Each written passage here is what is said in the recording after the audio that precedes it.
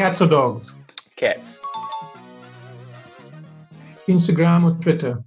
Oh, Instagram. Kohli's cover drive or Babar Azam's cover drive? Kohli's cover drive. Not by much. They're both very, very beautiful cover drives.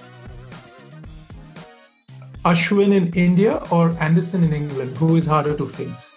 Oh gosh, about to face Anderson, Anderson in England, and I've faced maybe in the later in the year we're facing uh, Ashwin in India. So um, oh, I'm about to face both of them. So maybe I can let you know if we have a call at the end of the year, see see who was tougher. But again, they're obviously both incredible. So it's going to be yeah. There's no right answer there. Ross Taylor's tongue out celebration or Neil Wagner's ween popping celebration?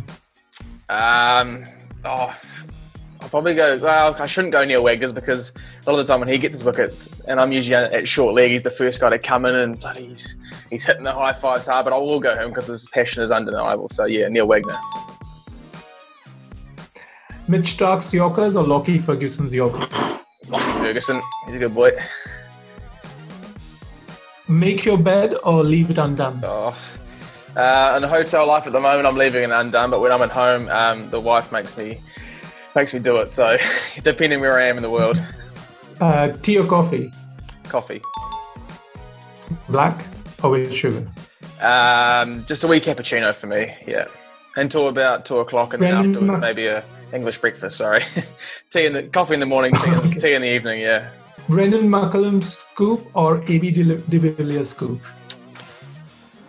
Both seriously impressive, um, but probably Brendon's. Um, I do remember his very first game when he did it um, at Jade Stadium against Shaun Tait. Just incredible, 150 kilometres, and yeah, like I said, we spoke about his courage to do that is just scary.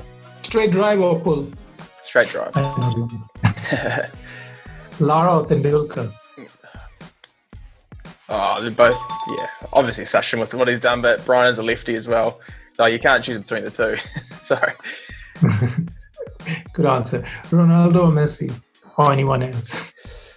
Oh, I'm an Arsenal fan, so there's not not too many choices. Maybe Thierry Henry back in the day. Um, yeah, yeah, it's not too many choices for the Arsenal boys, but I'll probably go uh, probably go Messi. I think I know the answer for the next, but tests or ODIs? Test cricket. Rugby or golf? Love rugby, but golf. Probably play more golf, so yeah, we'll go with golf. Pavlova or Louise Cake? Pavlova. If you could travel back in time, would you face Richard Hadlee or bat with Martin Crowe? Oh, that's a great question. um,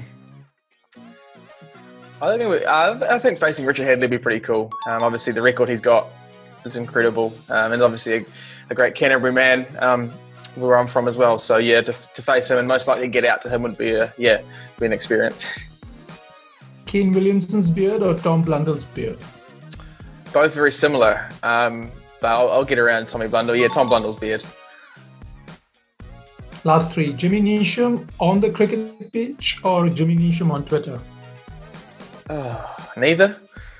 Um, I don't really see too much of his social media, but certainly certainly on the field, he can. He's he's pretty entertaining. He's a good all rounder. So yeah, we'll go go with on the field. Text or call. Cool. Laze on the beach or surf on the waves. Uh, I like the idea of surfing, but never done it. So I'm I'm, I'm on the beach at the moment.